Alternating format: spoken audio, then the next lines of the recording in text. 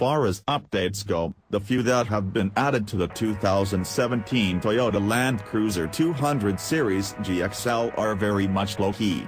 The GXL now comes with DAB+, an updated audio interface and steering wheel audio controls. You want more? Well, there isn't any. If you're buying a 200 series to tool around town, you're certifiably mad, of that there is no doubt. There are two things the 200 series is most capable of tackling with ridiculous ease though, towing a large caravan around the circumference of this continent, and making short work of heavy off-road terrain. With that in mind, we decided to get a little dusty and dirty and focus solely on the 200's off-road chops. I'm not 60 yet, so the big lap with the caravan in tow was a bit of a stretch. A trip out to our favorite off-road test track was more to my liking though, so that's exactly what we did.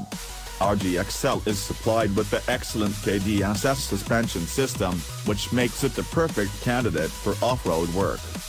If you want mountain killing, sandblasting, river crossing, rock crawling, off-road capability straight off the showroom floor, you have to live with something truly compromised on-road. Think, yep you guessed it, another Toyota, 70 Series or Jeep Wrangler. With Land Rover Defender gone as we know it, and on a sabbatical in naming terms, there's little else to sate the taste of the true off-road warrior.